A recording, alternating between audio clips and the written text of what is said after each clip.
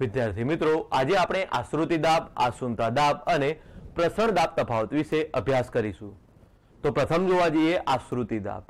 જ્યારે કોઈપણ દ્રાવણને તેના શુદ્ધ દ્રાવકથી અર્ધ પ્રવેશશીલ પટલ વડે છૂટું પાડવામાં આવે, ત્યારે દ્રાવકના અણુઓ દ્વારા દ્રાવણ પર સર્જાતા દબાણને આશ્રુતિ દાબ, ઓસ્મોટિક પ્રેશર તરીકે ઓળખવામાં આવે છે.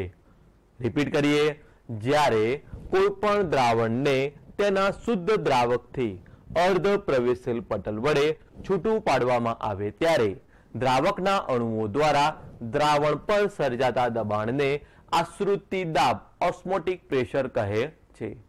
કોઈ પણ દ્રાવણના આશ્રુતિ દાબ ઓસ્મોમીટર વડે માપી શકાય છે.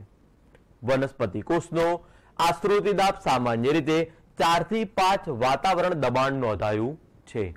આશ્રુતિ દાબનું મૂલ્ય બે બાબતો ઉપર આધારિત છે. એક, દ્રાવણમાં રહેલા દ્રવ્યોની સાંદ્રતા અને બે, દબાણ તફાવત, એટલે કે દાબ તફાવત.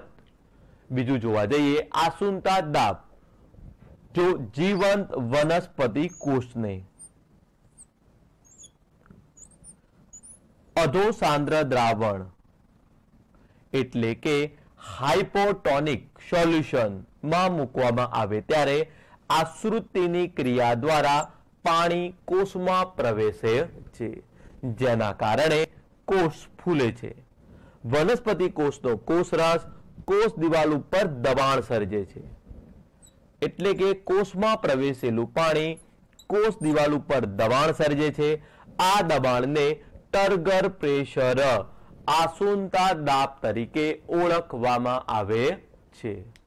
રિપીટ કરીએ.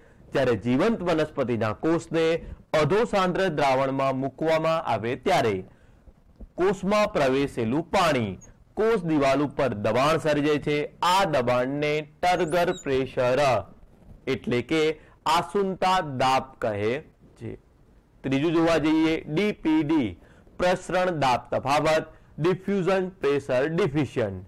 તો કે જ્યારે બે અસમાન સાંદ્રતા ધરાવતા દ્રાવણોને સમાન દબાણે રાખવામાં આવે ત્યારે બંને દ્રાવણમાંના દ્રાવકોના પ્રસરણના તફાવતને ડીપીડી એટલે કે પ્રસરણ દાબ તફાવત તરીકે ઓળખવામાં આવે છે.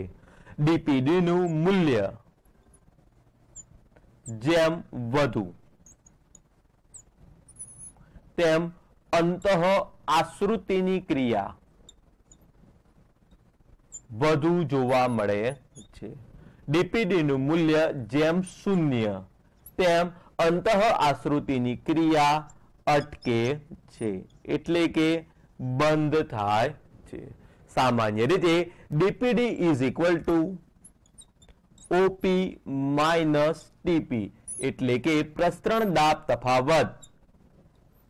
એ આશ્રુતિ દાબ ઓછા ટર્ગર પ્રેશર ના મૂલ્ય બરાબર હોય છે.